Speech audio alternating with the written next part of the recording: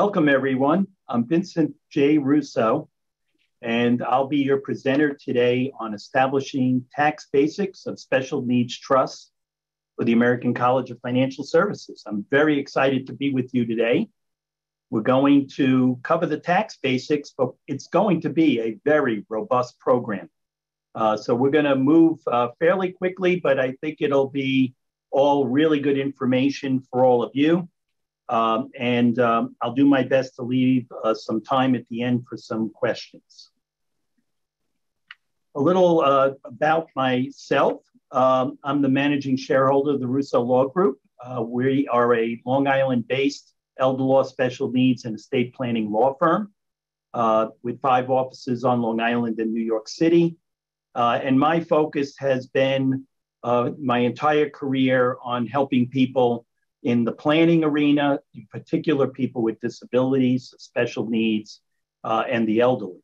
Let's get started. So today, what I'll be covering first will be the overall tax treatment of trusts, in particular, focusing in on third party and first party special needs trusts. We'll get into drafting considerations, which have tax implications. We'll discuss the tax consequences to the trust, the grantor, and the beneficiary. We'll discuss qualified disability trusts, and we'll touch on retirement trusts. Quite frankly, any one of these topics uh, could be a full hour presentation. Uh, but today we're going to do the tax basics. So, first, let's start with tax treatment of third party and first party special needs trusts. Now, before we get into the discussion, uh, I just want to refer to the Internal Revenue Code. Uh, for those who are not familiar with the code, uh, the code is broken up into sections. So if you have to look at um, what the um, Internal Revenue Code provides, today we're going to be spending time on the income taxation of trust. And so you need to know that the discussion will be covering code sections 671 to 678. When we talk about gift taxation, we're in the 2500 series of the code, 2501 to 2505. And when we talk about estate taxes, we're in the 2000 series of the code, starting at 2001. So just a, a, just an overview of where to find the information in the Internal Revenue Code. Now, we're going to start with a general rule. And like any general rule, there are lots of exceptions. So the general rule is that if we have a trust and income is generated, that income of the trust will be subject to tax, income tax. And the question will be who will report that taxable income. So the general rule is that the income must be reported on the trust income tax return. That is Form 1041. But we have exceptions. So, one exception is that all the income may be reported on the grantor's personal income tax return. The grantor is the person who established the trust we'll often refer to that type of trust as a grantor trust for tax purposes. The trust has $10,000 of income and it's a grantor trust, then all the income will be reported by the grantor, not on the trust income tax return for tax purposes. The second exception is all or part of the income may be reported on the beneficiary's personal income tax return. Here, it's a open door. It depends on how the trust is drafted, and we're going to get into that today, uh, so that the beneficiary may be reporting all or part of the trust income, even though it's not a grantor trust. And we'll refer to that as a non grantor trust situation. And then the third would be all or part of the income may be reported on the trust income tax return. Here, it would also be referred to as a non grantor trust. So, with these exceptions uh, to the general rule that all the trust income gets reported by the trust, one exception, if it's a grantor trust, all the income gets reported by the grantor. And if it's a non grantor trust, then some or all the income may be reported by the beneficiary, or some or all of it may be reported by the trust. The other piece I want to give you up front, very important uh, in our consideration of trust taxation, are the 2021 federal tax brackets. And you'll see here that for personal income taxation, there are seven brackets running from 10% to 37%. And you'll see that you don't hit the 37% tax bracket until you have $523,601 or more of taxable income. Now let's go, if you're married, that number goes up. Let's go to the far right column and let's look at taxation of trusts. There were only four brackets instead of seven. And you'll see that the brackets um, kick in very quickly. So at 24% tax rate, it's someone who has uh, the trust has taxable income that will be taxed to the trust of $2,651 up to $9,550 versus roughly 86,000 or more um, if I was a single individual reporting that income. And then look at the bottom right corner. We're in the 37% tax bracket. If the trust has to report the income and pay the tax. Once that trust has taxable income of $13,051, we're in the 37% tax bracket. For a single person, you wouldn't hit that number until you were at over 523,000 or married over 628,000. So what this means is that we, when we're uh, planning uh, for the tax consequences of a trust, we want to minimize the trust as a general rule, reporting income, because we're going to find that that income is going to be taxed at a much higher rate than if it was pushed back to the grantor, the person who established it, or pushed out to a beneficiary who would fall in the single or married uh, tax brackets on the screen. Now let's get into the world of special needs trusts. And today there's going to be two trusts that we're going to be focusing in on a third party special needs trust and a first party special needs trust. The third party special needs trust is a trust set up by an individual for the benefit of another individual, not for their own benefit and it's being funded with the assets of the individual setting up the trust. A good example of that would be a parent setting up a trust for the benefit of their child who is disabled. We refer to that trust where the provisions of the trust would supplement the needs uh, of the child with special needs or is disabled and that would be referred to as a third party special needs trust or a third party supplemental needs trust. And that's to be differentiated from a, a first party trust, which would be a trust set up by an individual with their own assets for their own benefit. All right. Uh, and that we're going to get to later on. So I want to start with third party special needs trusts. This is the more common of the two trusts. Um, there are parents who are so concerned about the well being of a child with special needs, minor or adult, and they want to provide uh, for that child, maximize their quality of life while also maximizing government benefits. And that can be done. And so today, our angle would be focusing in on the taxation of such a trust. Now, there are two types of third party special needs trust one that's set up during lifetime by the individual, and the other would be what would be referred to as a testamentary trust, which would be the special needs trust, would be established under a will or under an existing trust when the grantor passes away.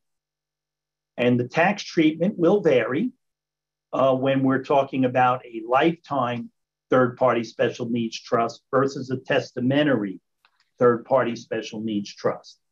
So let's start with lifetime special needs trusts.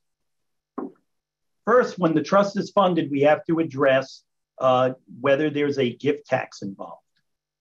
So the three tax areas we're going to keep talking about are gift taxation, income taxation, and estate taxation.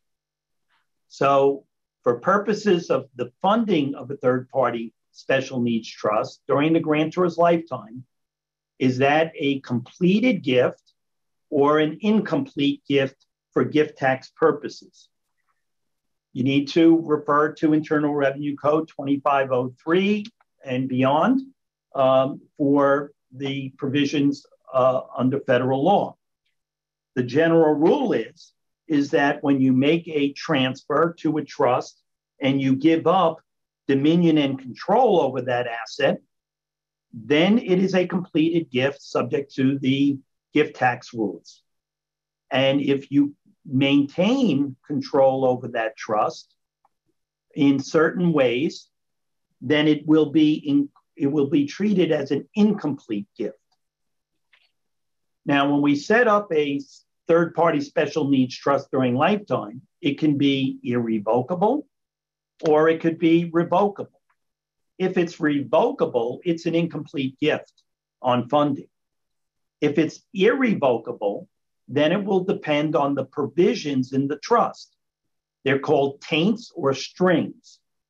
And so, uh, is are there provisions in the trust where the grantor has retained control in a way that the IRS says um, you've made an completed gift or an incompleted gift? So if I have an irrevocable trust, for example, and retain a limited power of appointment, which allows me to control who the beneficiaries are of the assets in the trust, then that would be treated, then that trust would be treated as an as a trust that was funded with an incomplete gift.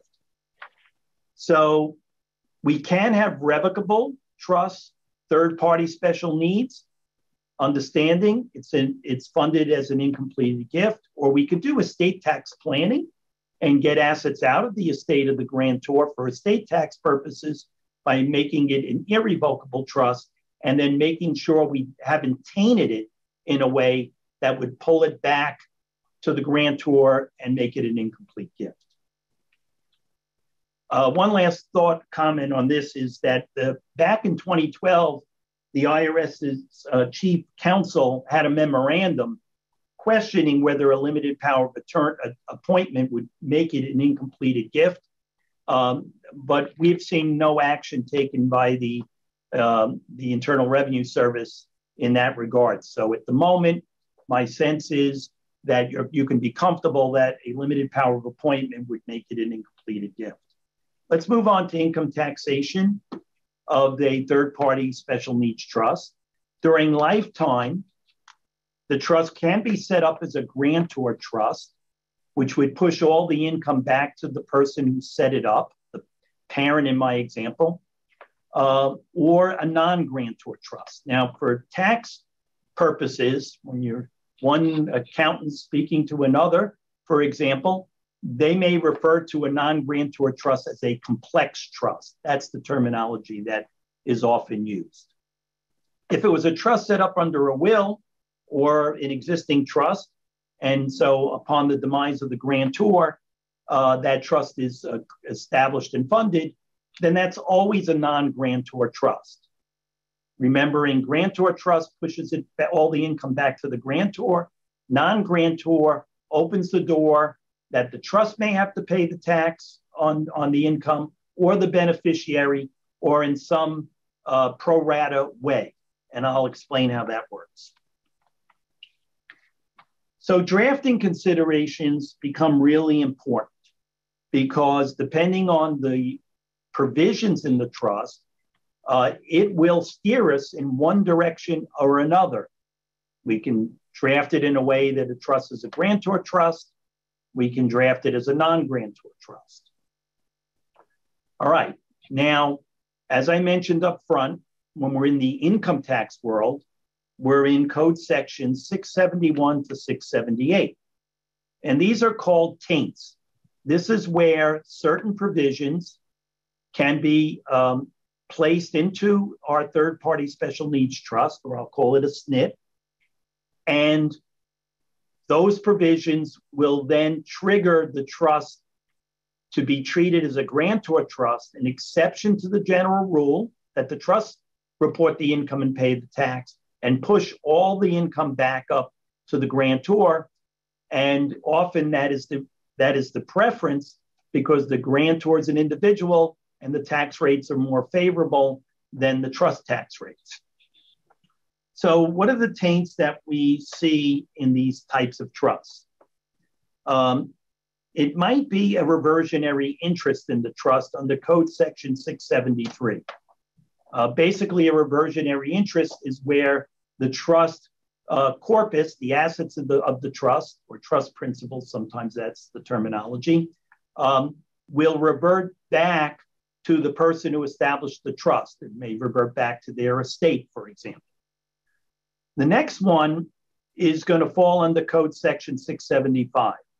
This is a very common provision that the grantor retains the right to exchange property of equivalent value in a non fiduciary capacity.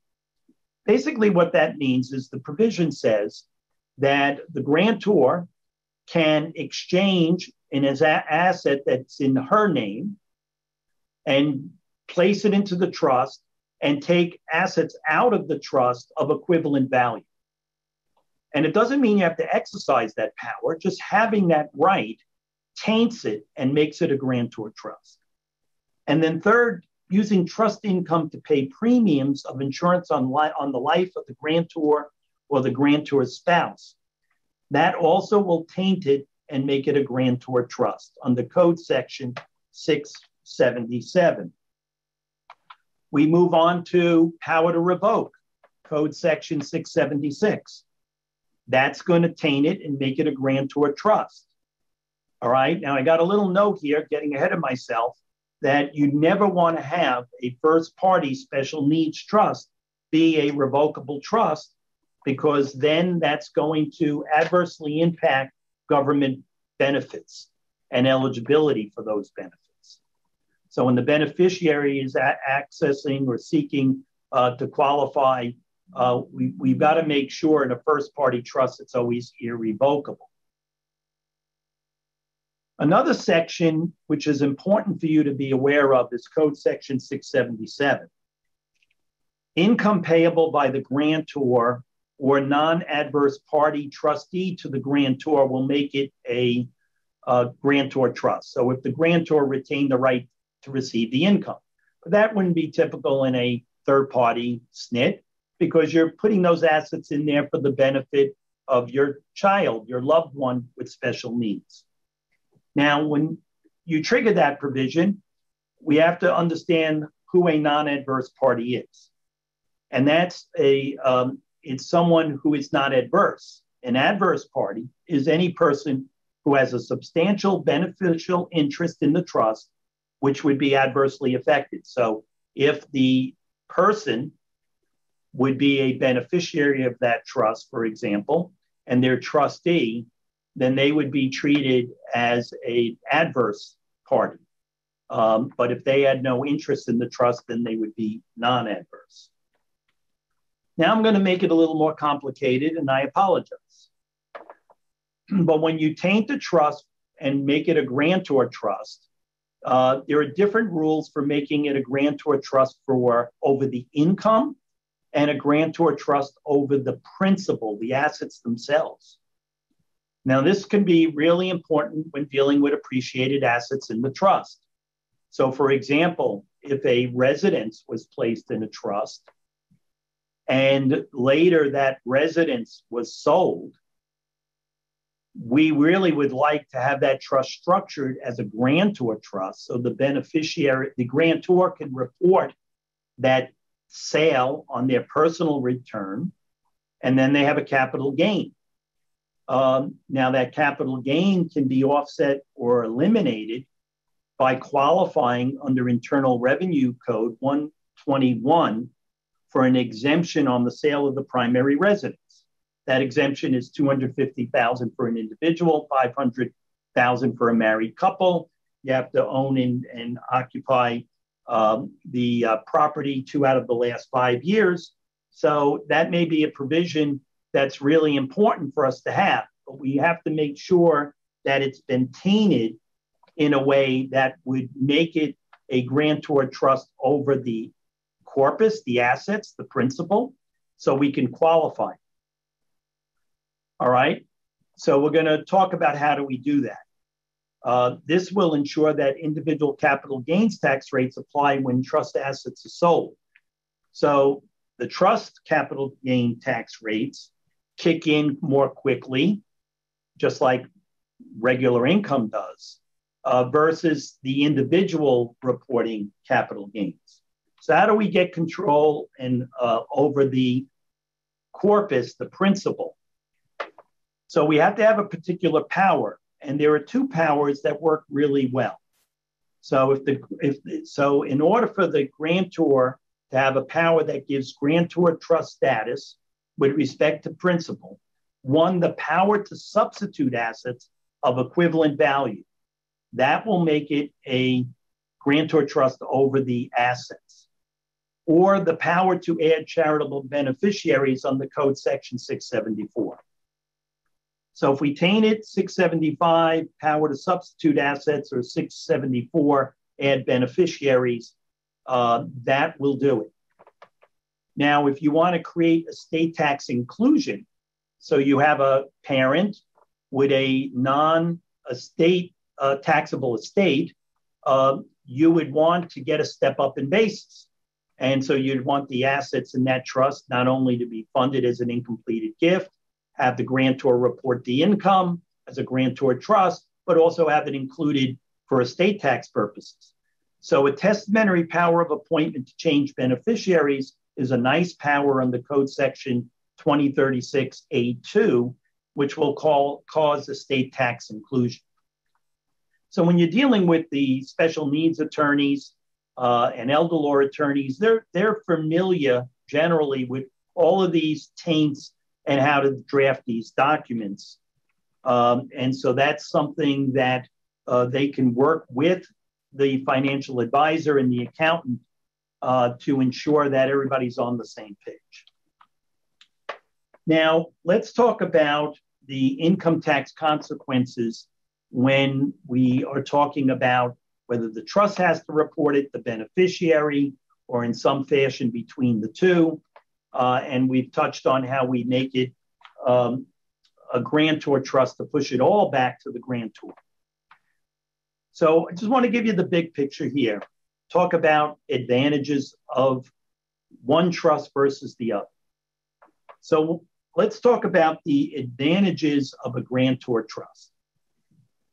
The advantage here would be that the income tax consequences stay with the grantor. So when we consider the maximum tax bracket of the grantor, single person reaching 37% at 523,000 plus, while the trust reaches that bracket at 13,000 plus, it's clear that pushing that income back to the grantor is the preference. Now, the other advantage is it's a simpler tax filing. Uh, so what I mean by that is when you have a grantor trust as a third party special needs trust, you can provide for the tax ID number to be the social security number of the grantor. So if all the assets are under that grantor social security number, then there's uh, no need to file a trust tax return for the third party SNT. In the alternative, if, if you get a separate tax ID number for the third party SNT, then that return becomes what I'll call an informational return. Basically, the trust will never pay any tax on that return. It's a grantor trust. You note that on the 1041 uh, by checking a box on the first page. And then you would be attaching, in effect, a report of what the income and, and expenses are of that trust. And that report would pass on, be passed on to the grantor, who then would report it on their personal income tax return. Um, and so, simpler tax filing. It's easy for the grantor to understand. Uh, it's also easy for the ben- easier for the beneficiary to understand. So explaining that to the uh, client's important because the last thing we want to do is make life so complicated for the parents who have so much to think about and do when taking care of a child with special needs that if we make it overly complicated, um, perhaps then they never move forward and implement the planning that they need to implement. So, tax advantages, um, minimizing income taxation, simpler tax filing, easier to explain to the client. Now, let's compare that to the advantages of a non grantor trust. So, in a non grantor trust, either the trust is going to report the income or the beneficiaries or some combination of the two. The income doesn't get pushed back up to the grantor. So, the grantor does not need funds to pay tax on phantom income. Now, what I mean by that is when the grantor has um, a established a third party SNT as a grantor trust, and let's say there was $30,000 of taxable income, they're reporting that income on their personal income tax return. Um, and that's not income they're actually receiving because that income staying in the trust for the benefit of the child with special needs. Now, you can get more sophisticated in draft to allow for that trust to pay the tax on the income uh, portion, uh, reflecting that $30,000 of income, whatever that tax would be, that you can put a provision in the trust to allow the trustee to pay that share of the tax. Uh, another advantage is spreading out the income tax consequences. So what I mean by that is you could have the trust uh, report the income going up the bracket up to roughly 13,000 and then you can have the excess income out to the beneficiary and they're running up a bracket. So you can you can look at the bracket rates and you could play the brackets. It's not a big savings here.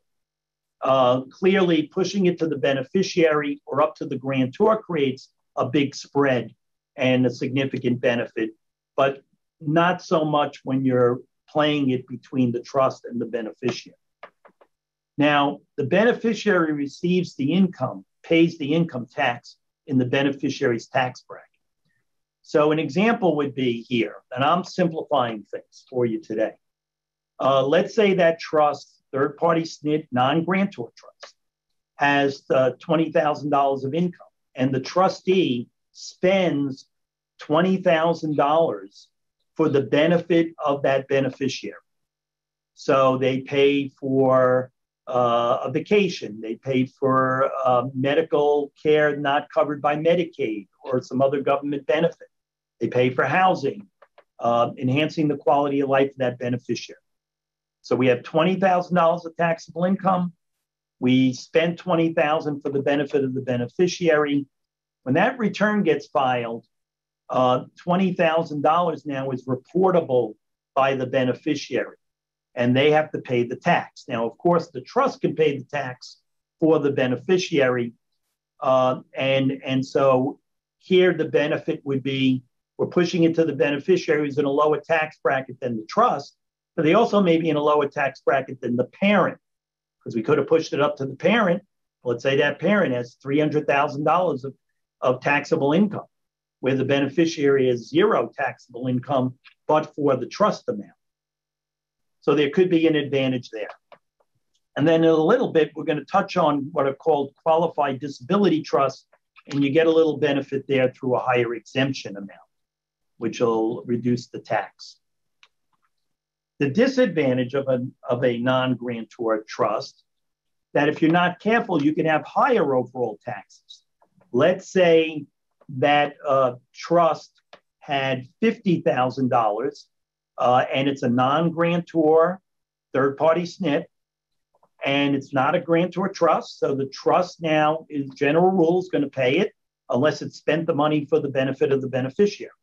Let's say in a given year, that $50,000, we only spent $5,000 on the beneficiary.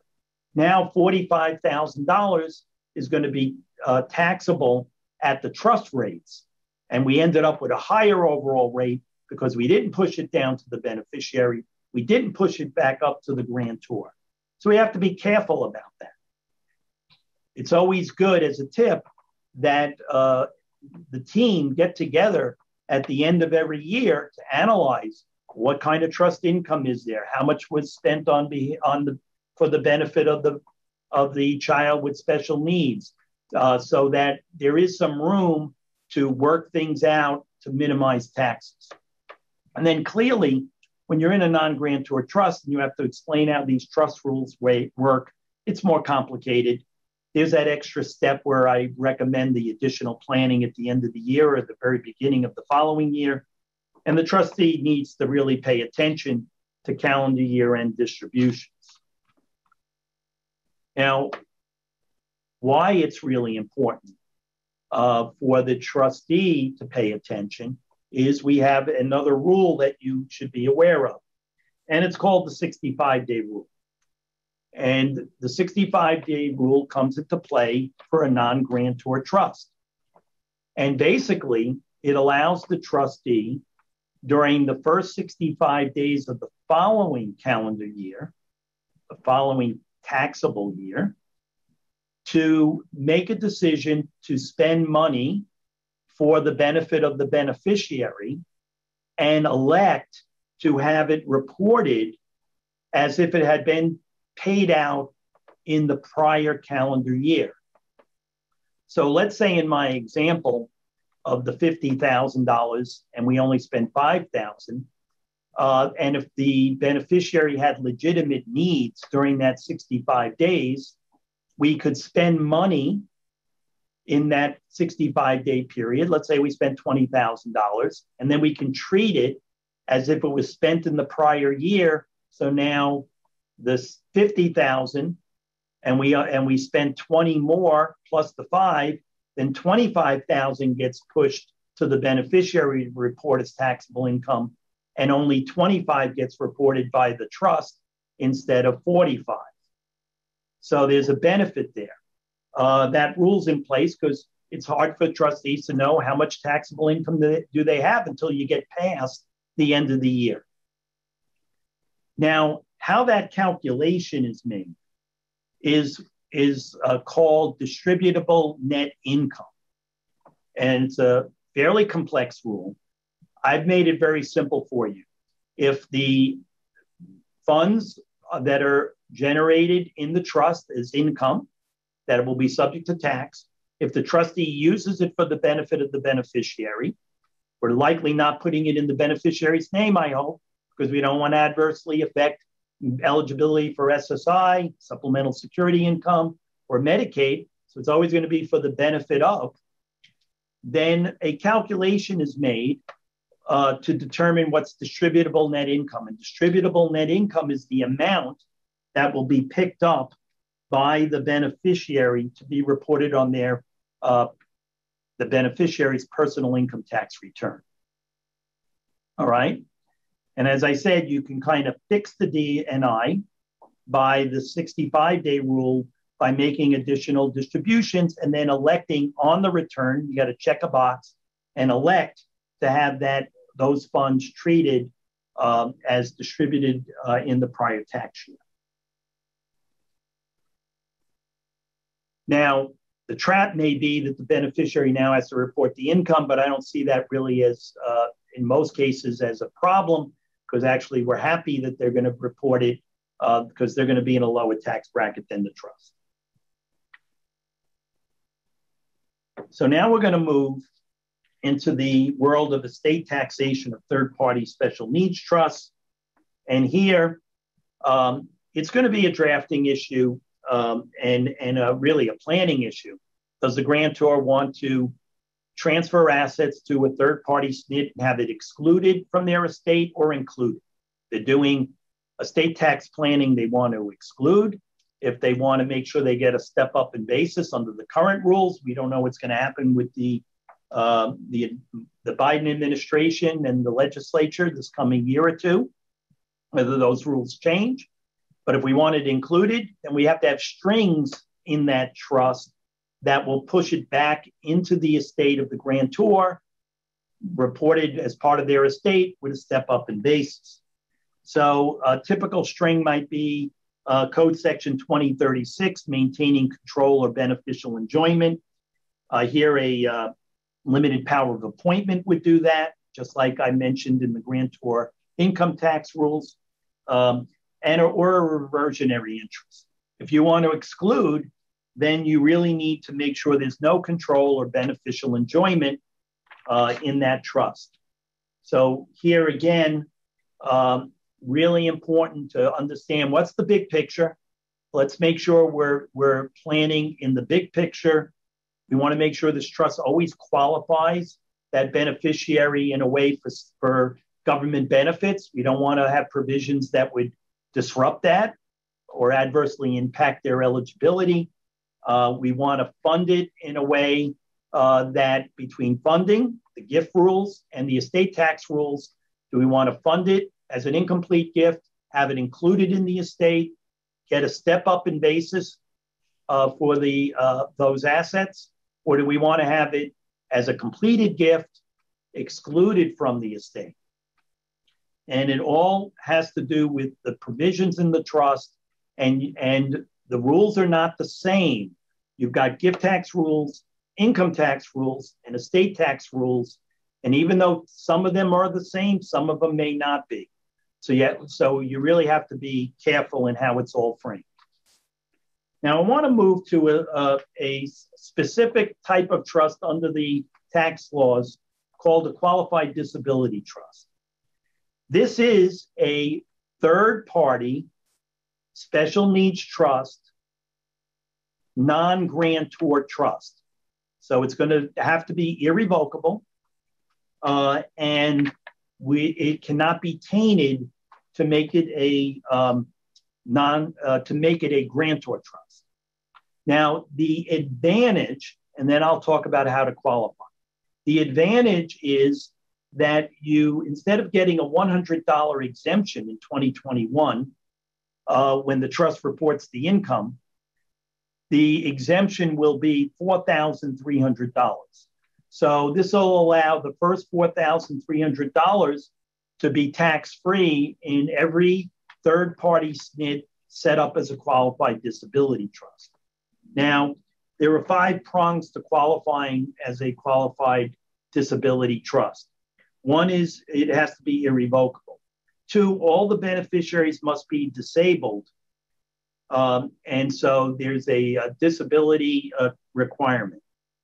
Three, the uh, trust cannot be a grantor trust.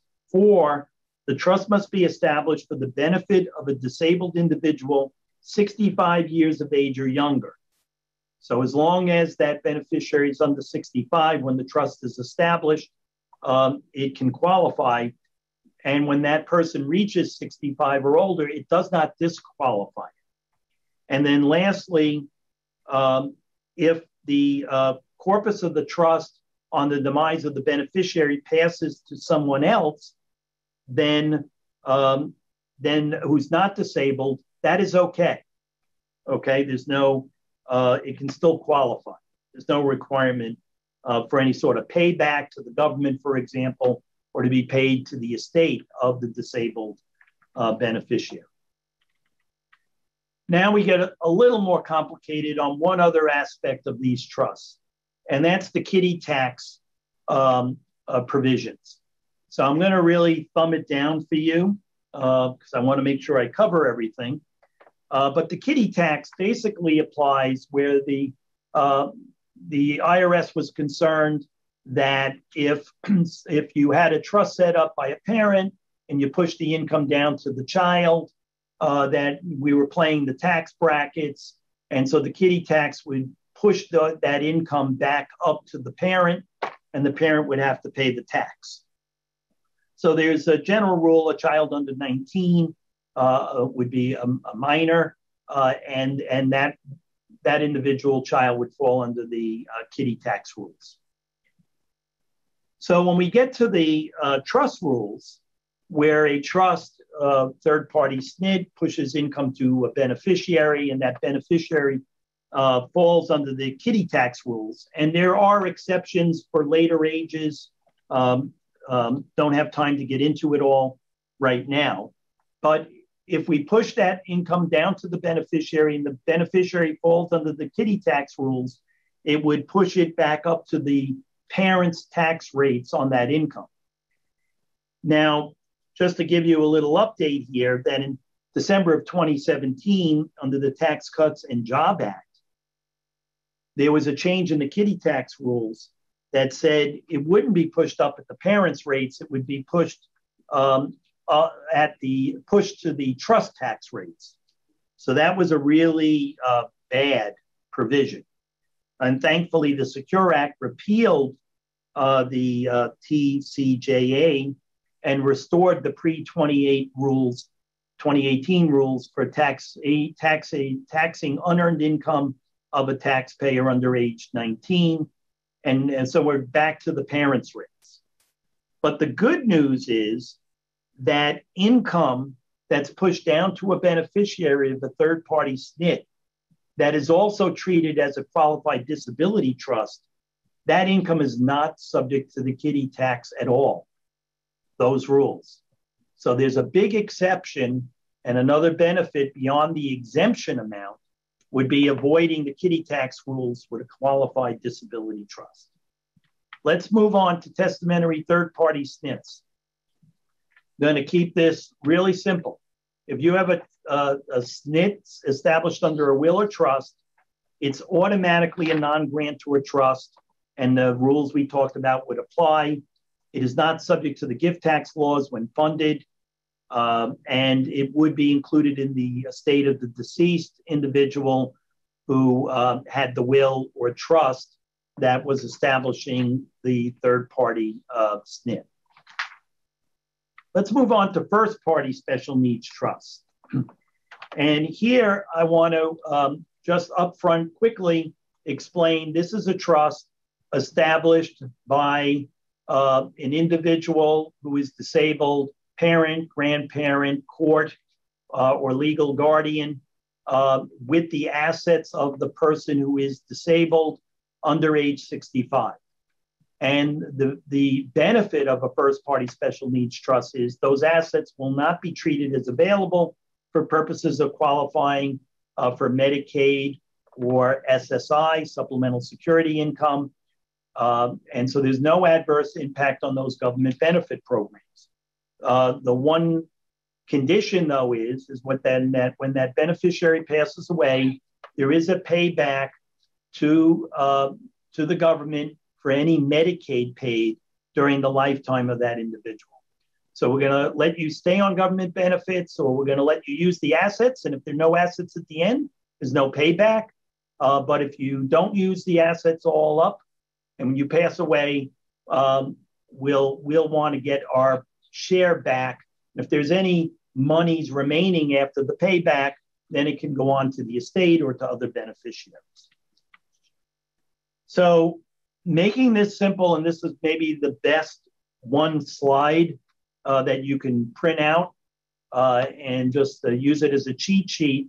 That when you have a first party special needs trust, it's an incomplete gift for gift tax purposes. Yes, you can throw uh, provisions in there to taint it, uh, but the overall understanding among uh, myself and, our, and my colleagues is that um, there's sufficient dominion and control arguments that can be made. And we've seen no uh, first party SNID being subject to a gift tax um, um, under the law and the first party SNID's been in place since uh, 1993. For income tax purposes, here again, it's a grant, it's going to be a grantor trust. Um, I've given you the code sections. It's, in my opinion, always going to be a grantor trust. Um, there's some, some minority of colleagues that believe maybe you can taint the trust in a way that makes it outside of the grantor trust rules. Uh, but I believe it's a grantor trust, uh, and the grantor is the beneficiary. Really important to understand that even though a parent may say set up the trust, the IRS has a revenue ruling from many, many years ago that says because the trust is being funded with the assets of the beneficiary for the beneficiary's use, they're treated as the grantor. And it's code section 673, 677A1, 677A3. These are all taints that you could put in. And for estate tax purposes, it will be included in the estate of the beneficiary, who's also, for tax purposes, going to be treated as the grantor. All right, I'm going to give you a couple minutes on retirement trust. Uh, this could be a 60 minute to three hour presentation. Um, and uh, I just want to just touch on this because we said it, we're setting up these third party SNITs. And if it's funded later on the demise of the grantor with their qualified retirement assets, um, IRA, 401k, under the Secure Act, as everyone's aware, uh, the uh, account must be distributed. Um, this is an inherited trust uh, situation, must be distributed uh, within a 10 year period. Uh, so if I have an inherited IRA, uh, we've got a 10 year rule. And the exceptions are now for an, what for individuals who are called an eligible designated beneficiary. Uh, and they are a surviving spouse, a beneficiary who are who is disabled, chronically ill, someone who's no more than 10 years younger than the original account owner, and minors only during the period the beneficiary is a minor. So, understanding this, uh, we get outside of the 10 year rule and we can set up a third party SNIT in a way to make it what's called an accumulation trust that will allow us to pay it over the lifetime of that beneficiary instead of ten, uh, within the 10 year period. Now, someone who is disabled is they're basically going to follow the Social Security disability criteria for determining disability. Uh, someone who is chronically ill uh, has to be unable to do two of five activities of daily living of the six listed in the code or have a disability similar to that or may have a cognitive impairment such that they need substantial supervision for their health and safety. So once we have a third party SNIT, we're going to fund it with qualified uh, uh, retirement funds. We want to also then qualify it as an accumulation trust. So, an accumulation trust is basically a discretionary trust. In our case, it would be supplemental needs for the benefit of a disabled or chronically ill individual. And if you qualify it under the Secure Act, uh, then the measuring life for determining required minimum distributions uh, would be the person who is uh, an eligible, a designated eligible beneficiary, disabled or chronically ill individual. And that would allow for the payout. So now uh, us, uh, who are the attorneys drafting special needs trusts, third party, we now are drafting what's called a secure special needs trust.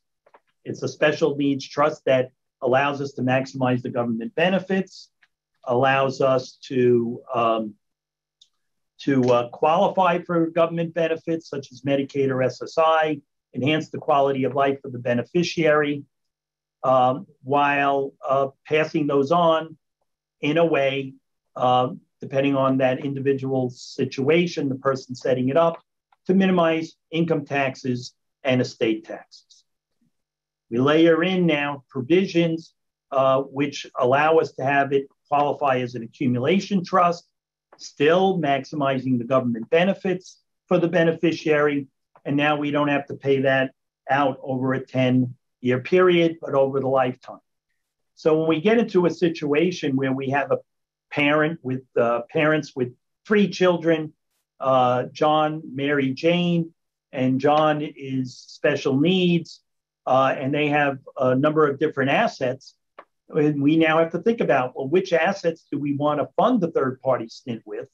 And it may be that there's a preference to fund that trust with the retirement account monies because now it can be spread out over the lifetime of that beneficiary. Uh, and then when it gets pushed out um, in under the DNI rule, uh, we're in a lower tax bracket than the trust tax brackets. So, um, food for thought. So, what we've covered today, uh, and I know, and I apologize that we covered this very quickly.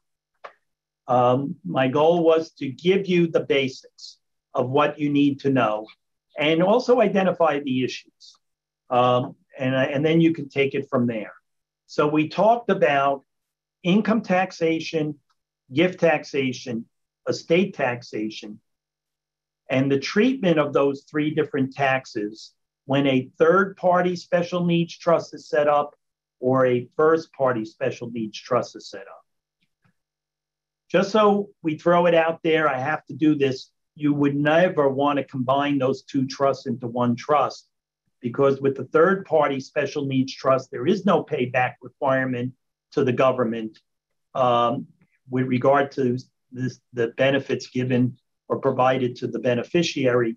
While in a first party special needs trust, there is a payback requirement for Medicare. So then we, we understanding these rules and the tax brackets, we've talked about the drafting considerations. Um, we've covered the different ways uh, we can draft to taint the trust or uh, to make it an incomplete gift or to make it includable in the estate or to change or channel how trust income will be taxed either to the trust, the grantor, or the beneficiary. And then we just spent a couple minutes on qualified disability trusts. Um, there's a benefit there, a little bit about the kiddie tax rules, and a real, like a one, two minutes on retirement trusts. Um, so hopefully this has been helpful to you um, and given you a good overview. Uh, I see there are lots of questions in the chat, uh, in the Q&A uh, box here. I'll try to take a quick look at them and see um, um if I can address some of these quickly. And um, so we have a few more minutes. Let's let's see how this goes. Uh, first question from Tim: Does the does the trust taxation matter if it's revocable or irrevocable? Yes. Um, if it's revocable, it's always a grantor trust uh, for tax purposes. And if it's irrevocable, it may or may not be a grantor trust, depending on the provisions. All right, Mark asks when the grantor of the third party trust dies, how should the taxation of the trust be handled moving forward? And so it's if you have a grantor situation, it it is converted to a non-grantor trust. And in the year that the grantor dies, part of the year will be grantor trust and taxed, and part of the year will be treated and taxed as a non-grantor trust. Next question uh, from Ed. The grantor trust status and pushing the income tax back up to the grantor is only available during the lifetime of the grantor. After the grantor's death, can the income be pushed out to the beneficiary, or will it by default be subject to tr- the trust reporting it at a higher rate? So hopefully, I've explained uh, that no, we draft, so we allow to push that income onto the beneficiary's income tax return. Okay. Um, can an annuity be used as an investment in the trust to defer the generation of trust income? Yes. We didn't touch on the fact that the trust assets uh, that the trustee has control over can be structured in a way so that there's n- never any income tax, you know, and, you know, tax free uh, municipal bonds in the state where the beneficiary is, or the use of annuities, or investing in capital growth assets that aren't generating dividends. Uh, so there's a number of ways we can also look at as an advisor how uh, we can deal with the income tax issue. Good point. Would a beneficiary be at risk to lose SSI if the tax was flowed through to the differently able beneficiary?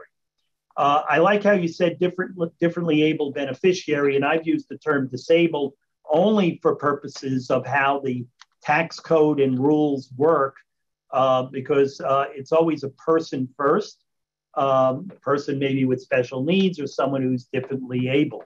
Um, no, the reporting on a tax return uh, does not um, impact whether someone qualifies for SSI or Medicaid.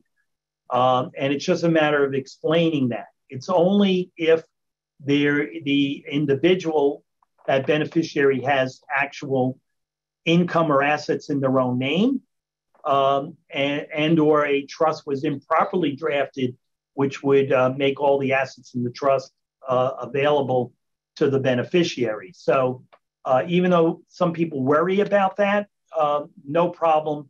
And I've been doing this uh, for decades and, uh, and don't see any issue there at all. Okay. Um, is there a limit that a beneficiary receives as income to disqualify for government benefits? Well, as I said, if it's for the benefit of, it's not going to be counted against their income budget. But the general rule is that beneficiary, if they have income, fixed income coming in, then that will adversely impact SSI benefits and Medicaid and, and the rules, depending on which benefit we're in and uh, perhaps what state you live in, uh, will have an impact. So, but the income of the trust will not uh, disqualify that beneficiary. On a complex trust, that's a non grantor trust, if the beneficiary reports income, could that affect government benefits? No, no, no. Not when we're talking about SSI and Medicaid.